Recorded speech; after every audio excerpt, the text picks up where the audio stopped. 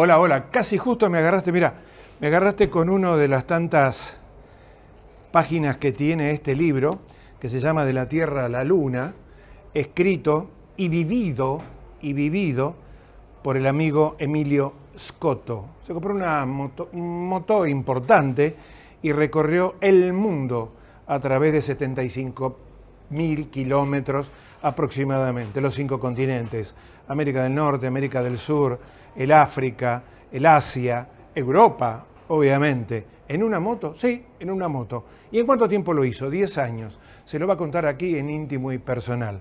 Emilio Escoto, de la Tierra a la Luna. ¿Lo conoce? Si no, se lo voy presentando.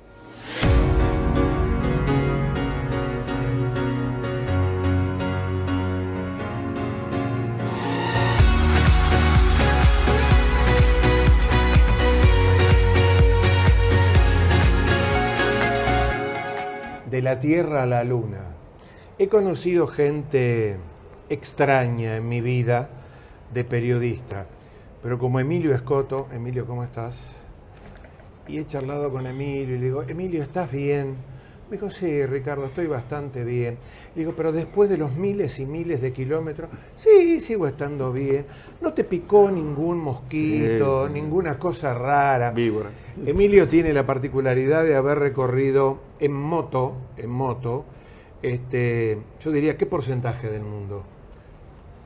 Acaban, acaban de incorporarme a un club, tú no lo sabes esto, que es, se llama, se llama Nomad Land es un club muy grande en el mundo que incorpora viajeros, tenés que pasar un examen y demostrarles una serie de cosas. Y ellos toman, no los países solamente, o sea, no, Argentina, sí, bueno, conozco Argentina, sí, pero tal vez fue a Buenos Aires, no.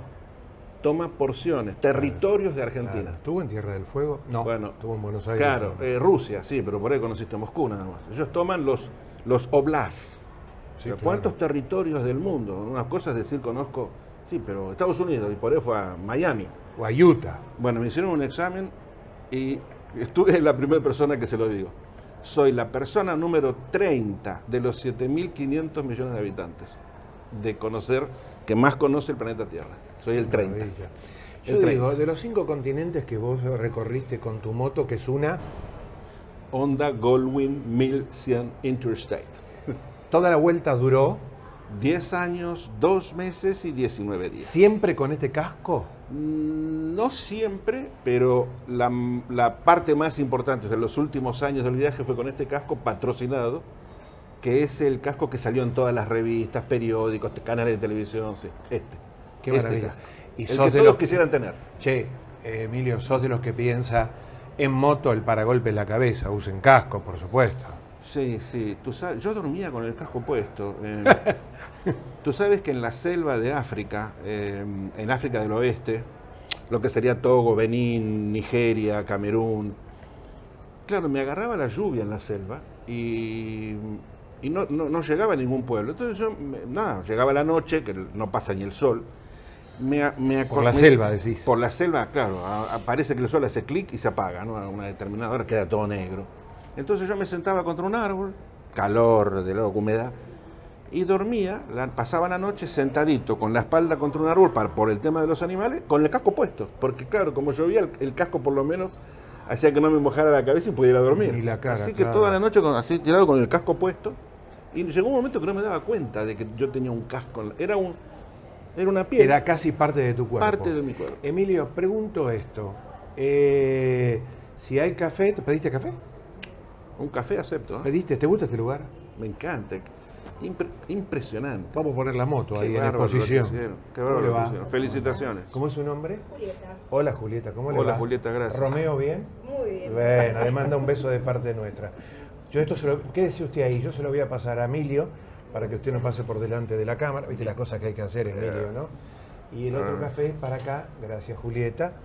Muy amable. Ahí está, como le gusta a Daniel. ¿Y algo más? No. ¿Ya está todo? Listo. Uno, bomboncitos que a Emilio le encanta. ¿Tiene azúcar esto, no? No tiene azúcar. No. ¿Me trae azúcar, por favor? Gracias, muy amable, Julieta, ¿eh? Yo digo, ¿no? De Australia. Perdón, no, no, no, me equivoqué. Oceanía. Sí. Eh, Asia.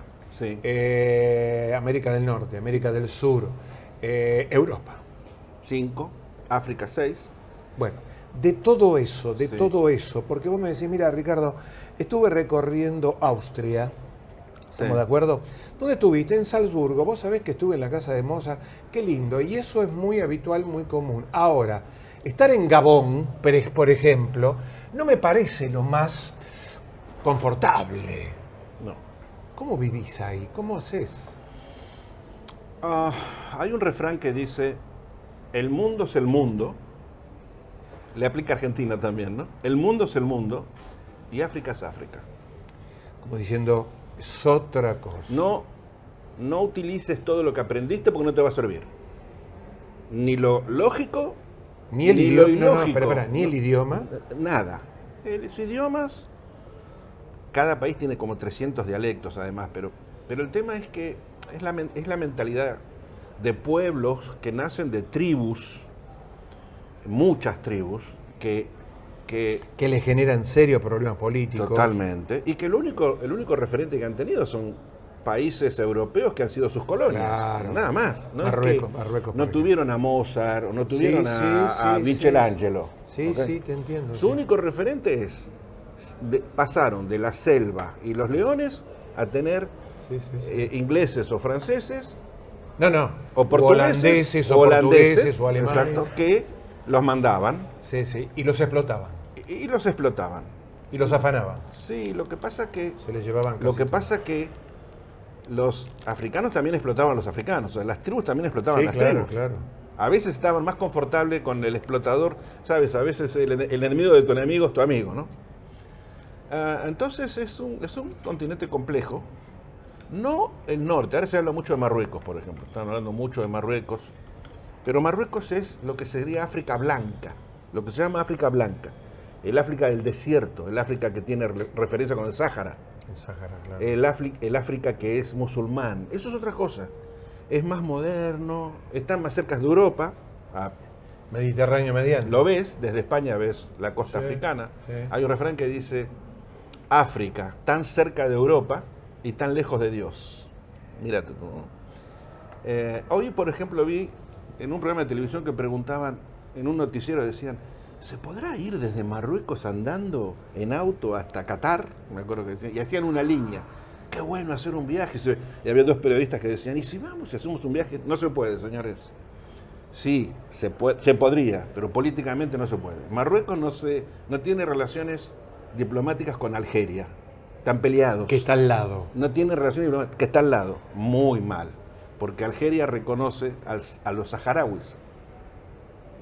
Uruguay no puede, por ejemplo, los uruguayos no pueden ir a Marruecos, nadie sabe eso. Los uruguayos no pueden ir a Marruecos. ¿Por qué? Porque no le dan visa, no le dejan entrar a los uruguayos. Yo hago tours en Marruecos y no puedo llevar uruguayos. Porque Uruguay reconoce a los saharauis Para ahí, ¿dónde está la moto? en un museo en, Los en Las Vegas. No sale, no sale de ahí. No sale de ahí. Ya, ya está, ya. Va a salir de ahí cuando se venda. Cuando se ve. Ah, ¿la querés vender? Sí, sí. Dentro de poco va a estar a la venta todo lo mío. Porque no, no más ya. ya no Porque si Maradona vendió la pelota y la camiseta, tal vez Porque yo le vendo- voy a vender la moto y el moto casco. Claro. Contame, Emilio, eh, te voy a hacer una pregunta. Este, me podés decir varias, una. ¿Querés azúcar? No, no, está muy bueno. Un café. Eh, la verdad que no vale la ¿Te pena. gusta? ¿Está bueno? Sí, Eh, ¿Sentiste miedo alguna vez? sí, sí. ¿Qué te dio miedo de, ta- de esta locura? Tú sabes que a veces me pregunto si soy un cobarde. Porque sentí tanto miedo. Digo, ¿quiere decir que yo sentí miedo tantas veces, miedo? ¿Es porque soy cobarde? Lo que pasa es que la cobardía y la valentía casi se juntan en el mismo lugar, ¿no? Eh, a mí me guiaba la adrenalina.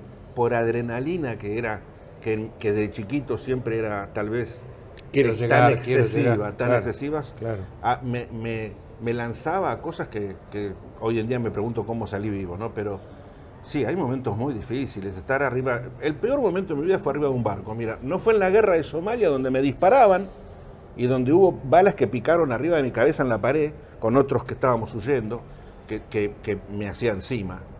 Porque decía, me va a pegar una bala. Fue en un barco, mira, todavía- un barco que casi se hunde en el medio del. huyendo de la guerra esa de Somalia, ¿no? Hay momentos que, que el miedo te afloja las piernas, te, te- te- sabes que llegaste a tu fin. Y entonces tú pasas la película de tu vida. A mí me pasó la película de mi vida. Y me acuerdo que lo que más me pasó la película de mi vida cuando era visitador médico, y me acuerdo que dije dos cosas. Dije, una, bueno, no importa, estaba en Somalia, huyendo de la guerra de Somalia. Y dije, no importa, Emilio, llegaste hasta acá. Dije, no importa, ya sé, te vas a morir, nos vamos a ir todos, pero llegaste hasta acá andando en moto desde Buenos Aires. Yo ya tenía cuatro años viajando. Yo decía, Emilio, llegaste hasta Somalia, hasta Mogadillo en moto. Decía, ya, ya so- tenés que ser feliz. Lo otro que dije fue, lamento morirme y no voy a volver a, vo- volver a ver a esa novia que dejé en Buenos Aires. ¿Qué es esta actual? Moniquita, que es mi esposa. Moniquita. Che, ¿te aguantó 10 años? Porque con Mónica, ¿vos cómo hacías para, para- No, no, yo no hacía nada. No, más vale que no hacías nada. Si estabas en Mogadillo, ¿cómo haces? Pero yo no sabía que ella estaba esperando. Ah, no, era soltero. Sí. Ah, no, yo pensé que se había ah. casado, que... Che, yo digo, eh, llegás a, qué sé yo, al Sáhara, Argelia. Sí. Está bien, vos me dirás, sí, yo hablo francés muy bien. Pero no es que uno sabe un solo idioma, por más que vos sepas francés e inglés, que son, inglés fundamentalmente, que son los idiomas cuasi internacionales, ¿no? ¿Cómo haces para arreglarte con un dialecto? ¿Cómo haces? Señas. Ah, Las señas es el idioma universal. hablame de, qué sé yo, India. este, Vietnam, hablame de lugares Bien. inhóspitos. El país de países. India es el país de países. La gente más linda del mundo. ¿Pero por qué? ¿Por la cantidad de, de pobladores no, que ¿cómo tiene? son ellos? Vos, la- vos hablas de la India y te dice, no, la mayor producción de, de cinematográfica es India. Sí, mil películas India. cuando Hollywood produce 500. Pero por eso, India. Sí, India produce India. mil. Lo que pasa es que las películas de la India duran. Yo te digo, fui a un cine a ver una película con Mónica, me acuerdo. Cuatro Entramos un horas. cine, entramos a las 11 de la mañana, le digo al cine. Bueno, a las 6 de la tarde estaban dando la misma película. La gente se iba a comer, después volvía y seguía la película. Son, duran. Producciones larguísimas. Son larguísimas. Eh, cantan. Che, pero, India pero es no, el me- no país me vas a país. negar una pobreza. Sí, acá también. Claro.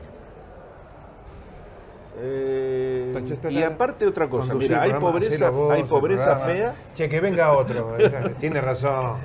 Acá tenemos, el Metí la 50%, pata. acá tenemos el 50%. Tenés razón. No, no, pero Eh. cuando uno veía imágenes de Teresa, de Calcuta, eh, yo creo que sí hay ciudades diferentes. Sí, no es lo mismo Delhi, es- no es lo mismo Delhi No. que Bombay, No. que, que Calcuta, ¿no? Yo acabo de venir de la India, estuve, llevé un grupo justamente en noviembre, en moto. Oh.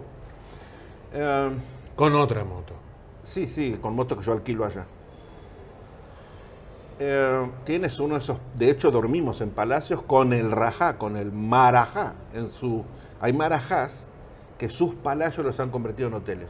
Por ejemplo, yo dormí en noviembre pasado en la habitación de Roger Moore, en la- de la película de James Bond, Octopus. Sí, claro. El marajá me dio, la Mónica a mí, la habitación de, de Roger Moore donde nivel. Octopus. Y yo le di habitaciones espectaculares a mi gente.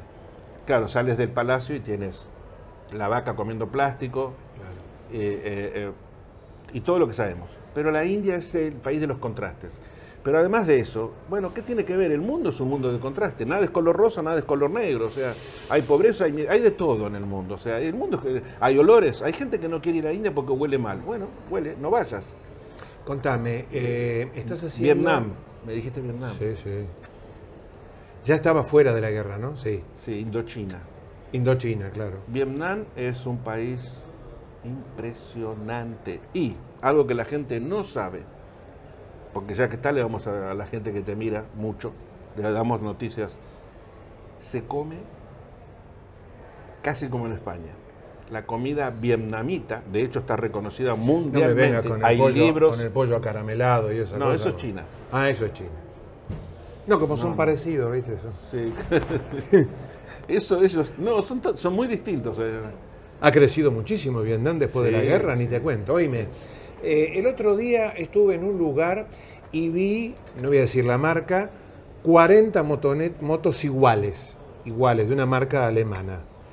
Hay grupos, ¿no es cierto?, de mo- motoqueros, no, moto- Esos. mo- no son... Esos, esos. No es, lo, Los- espera, espera, espera. no es lo mismo motoquero que motociclista, son cosas distintas. Uy, no sé, la verdad que. No, digo, el motoquero es el que reparte cosas, el motociclista es el deportista, ¿no? Mm, No. Todos somos, se supone que todos somos motoqueros. Ok. Pero no sé de dónde sale esa palabra. Motociclista, motociclista no se usa eso. Somos un motociclista. Pero nunca no. te llamaron de un grupo de Me esos. llaman motoquero, a mí también. No, pero digo, ¿no te llaman de un grupo de esos para No. decirte, Emilio, con... No. ¿por qué no? Yo hago preguntas inconvenientes, perdóname, pero. Decilo. Decilo, Escoto. Decilo. Ok, ¿por qué? Que me encanta cómo me mandaste eso así. Bajo la moto. Aterrizo sin ruedas. Ah, muy bueno. Nunca, nunca tuve la oportunidad de decirlo. Ese grupo que tú dices, ese grupo de la moto alemana de alta gama, que yo utilizo en todos mis tours, que la rento en lugares del mundo, en Argentina, ninguno de ellos, de esos grupos, jamás me ha invitado, ni siquiera la compañía de ese en Argentina que vende esas motos, que yo hago los tours. Además, en mi página web los tengo a ellos. ¿Por qué jamás me han invitado Libro a uno, un brindis o en fin de año a un café? Porque. Emilio Scotto. ¿Quieres que te cuente una cosa que resume todo? Me voy a dar el gusto. no- después, cuando llego a casa, mi mujer me dice: No tenías que haberlo dicho. Después de tantos años, yo tengo dos deudas de programas de televisión. Contigo ha sido un honor. Tú sabes que he estado con La Nata, con muchos. Me llamaron de Mirta Legrand para almorzar. Ahí ya me están haciendo caras. No lo digas. Me llamaron de Mirta Legrand. Cuando me llamaron de Mirta Legrand, para, para mí, eh, a ver, es la reina, dejémonos de joder, a ver, eh, eh, Mirta es... para mí fue una felicidad, ¿no? O sea, poder sentarme ahí. Pero cuando me llamaron yo dije, ¿estás seguro? Le dije que la persona que me llamó le digo, ¿Soy sí, yo? sí, sí, yo soy el que manejo todo. Le digo, ¿vos estás seguro? Sí, sí, sí, sí. Bueno, vamos a ver. A las dos semanas me llamaron y me dijeron, mirá, Emilio, yo sé quién me bajó. Y el que me bajó es un motociclista, muy famoso y un gran motociclista. ¿Por qué? Habría que ¿O por qué preguntárselo a él. El Bueno. nieto de, ¿cómo se llama? Eh, ¿Por sí, ustedes saben el nombre, ¿cómo es este? Nacho Viale. ¿Por Pero- qué? Yo sé que me bajó Nacho, nunca lo conocí, me hubiese gustado conocerlo. ¿Por qué? No sé, debo despertar, eh, no sé, celos o, o broncas, o no me creerán, o Messi también, eh, ¿sabes? Eh, Messi, Maradona también. Todos los argentinos pasamos por esto. Los argentinos pasamos por esto. Y a mí me tocó también. Ahora me contás lo de Napoli. ¿Se rompió alguna vez la moto y no tenías el alambre para arreglarla? Lo atamos con alambre. Ah, ¿Se rompió? Mm, No. Se me rompió. Siempre llevabas algo. No, sí. nada. ¿Cómo no? Herramientas no ¿Y llevabas, ¿eh? En una moto como, lleva- qué como una Goldwing que tiene, que tiene un motor de, de cuatro cilindros. ¿Qué, qué- qué es lo que se.? ¿Qué, ¿Qué sé yo? No sé, vos sabés de puedes moto, yo no entiendo No nada. puedes llevar nada. ¿no? ¿Qué vas a llevar? No se rompió nunca. No, nunca se rompió. Nunca se rompió, no. Me dejó tirado, sí, una vez que se rompió, se gastaron los, los dientes de la transmisión y entonces, claro, y la moto no caminaba. Ahí con un clavo metiéndole a la transmisión para que mordiera, para que andu Eso fue ¿de dónde? en Bangladesh, que tanto hablamos de Bangladesh. Sí, vamos a Argentina. Bangladesh fue impresionante todo lo que hicieron por mí en Bangladesh. Hay Este, solidaridad de la gente cuando te ve entrar. Sí, sí, sí. Hay, eh, hay países que son India, Bangladesh, eh, No es lo mismo eh, Europa. Indonesia. No es lo mismo Europa. Sí. Alemania a mí me, por ejemplo, dices que los alemanes son fríos. Hombre, si son fríos, a mí no me tocó. No me tocó ninguno frío. No, no, España, Italia. No, no. ¿Dónde, dónde fue que yo más este, sufrí desinterés?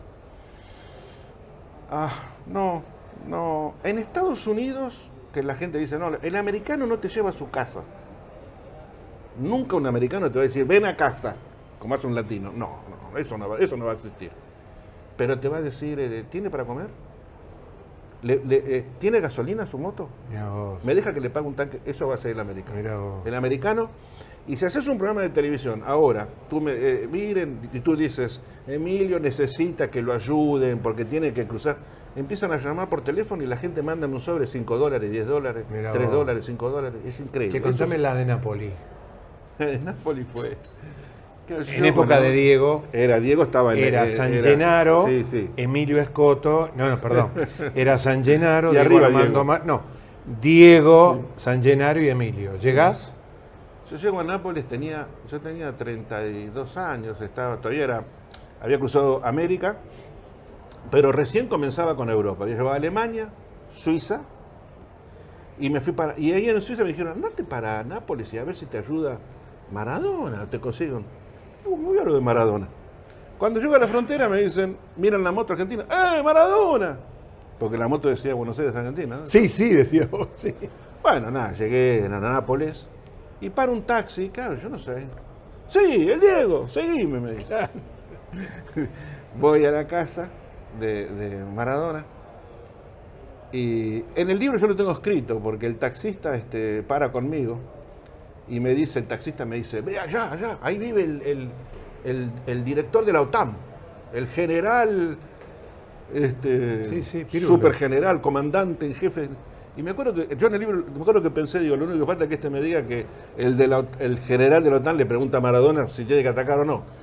Sabe que le pregunta siempre a Maradona si tiene que hacer algo, me dice el taxi. ¿En serio? Y yo lo había pensado, sí, sí, una cosa de Maradona era... OTAN, Organización del Tratado Y, Atlántico Norte, claro, Atlántico todos Norte. los países. Y el taxista pensaba que el comandante de la OTAN le preguntaba a Maradona, ¿no? Y toco el timbre, y ahí me atiende Claudia. Y, le digo, yo estoy dando la vuelta al mundo, en moto. Me dice, Diego no está, siempre me acuerdo, y estoy en camisón, porque me acuerdo la palabra camisón que no se usa más, ¿no? Y me dice, esperalo abajo, que ahora viene. Y nada, me quedo con la moto, llega una camioneta, la policía, ¡uh! Y nada, Diego se bajó y subió. Y al ratito sale al balcón, mira, y con Claudia, digo, bueno, los policías, todo esto, eh, Diego, eh, Maradona, baja Diego, y viene y me dice, me dice- y me acuerdo que me dice, yo te conozco, porque en la revista El Gráfico, en la misma revista, a mí me lo habían hecho en, Suiza, un artículo, y lo tengo en mi casa, decía eh, Diego, un hombre angustiado. Fue cuando pasó lo de que embarazada. eh, Sí, sí. y en la otra, y en- más adelante decía el loco de la moto. se ve que él mirando el gráfico lo vio. ¿Qué necesitas? me dijo. Y le digo, yo le pedí estar con alguien, estar con algún argentino y me dijo, mira, yo me estoy yendo ahora, me está esperando el avión, él iba a recibir, era el botín, me parece, no era balón, ¿no? Era botín, Botín de de, oro. Eh, me voy a Barcelona, me dice, pero quédate acá, quédate acá, y, cuando viene el chofer te lleva y te ubica. Y efectivamente quedé como tres horas. Y el chofer vino y me llevó a un hotel este de cinco, un hotel de cinco estrellas y que yo le dije, "¿Cu- y vale mucho esto, ¿no? Me dice, sí, me dice. Y, y con ese mismo dinero no podemos pagar algo más para más días, ¿no? Me dice, sí, sí, me llevó una pensión que todavía existe, la, la acabo de encontrar hace poco, y pagó 30 días. Y ahí fue que, bueno, ahí fue fui a la cancha, estuve con Diego, fui a un cumpleaños, que tuvo que alquilar todo el restaurante, una pizzería, me acuerdo, lo cerró todo. Y ahí vi la vida de Diego Armando Maradona. Este, yo le dije a él, cuando me iba, le digo, Diego, eh, digo, que yo quisiera, quisiera escribirte, quisiera de, de otros países ser un amigo. Y Diego me dijo una cosa, me dijo, no podemos ser amigos. me dijo. Y me dijo, Emilio, yo no tengo un solo lugar, no tengo un espacio donde meter un amigo más.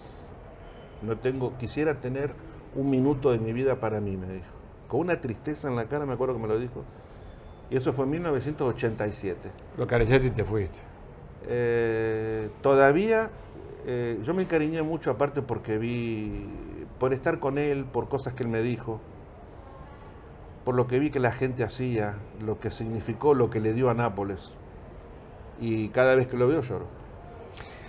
Este es el último libro de Loco de la Moto, Emilio Escoto, con todo respeto. Hay otros libros. Acá está el casco original, después de cuántos kilómetros, Emilio? 735 mil. 735 mil kilómetros a nivel mundial. Eh, tenemos que hacer varios programas porque tiene montones de anécdotas que son maravillosas. Ese es el 1, Algunas. este es el 2. ¿Ah, este es el 2?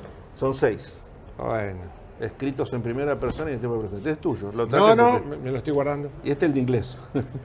Señoras, señores, el loco de la moto, 700 y pico de mil kilómetros a través del mundo. Y es argentino. Grande, Emilio.